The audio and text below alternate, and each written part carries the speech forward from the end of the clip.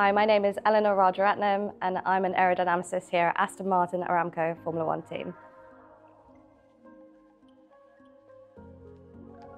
So my day-to-day -day involves a mix of both computational and experimental testing. So what I do when I come in first thing in the morning is that I'll look at my computational results from the night before.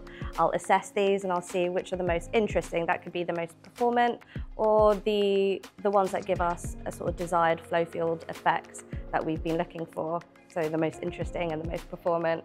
And we'll take those, we'll shape a wind tunnel testing program around these, and then we'll send them off to the aero model designers who will create wind tunnel parts. So I think that's what we do as aerodynamicists in F1 as well. We have an idea, a concept, we draw it, we test it, and then it goes to the race car.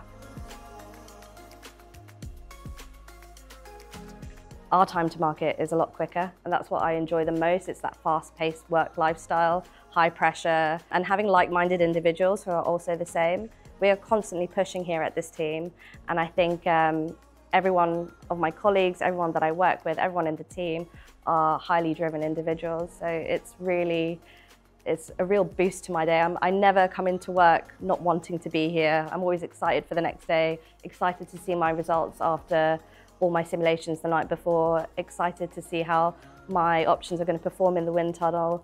Uh, it's a really thrilling, I think, industry to be a part of.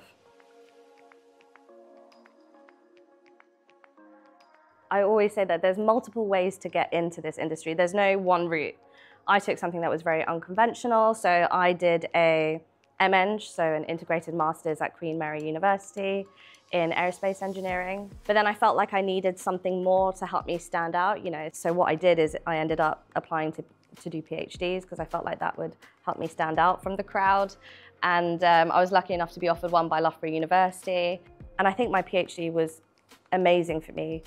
Not only did it teach me a really good mix of computational and experimental skills, it really taught me how to concentrate, develop an idea and um, see it from the fruition of an idea or thought all the way to the end. So I think there's a misconception really um, of from students from that level, um, even from secondary school, that you know you need to do things a certain way to get into Formula One, but that's really not the case. I think it's really important to persevere, keep pushing, and know that even if you have stumbling blocks, that every day you're one day closer to your goal. And I think that's really what I focused on during my PhD. And that's how I was able to get through it and eventually get a land a role in F1.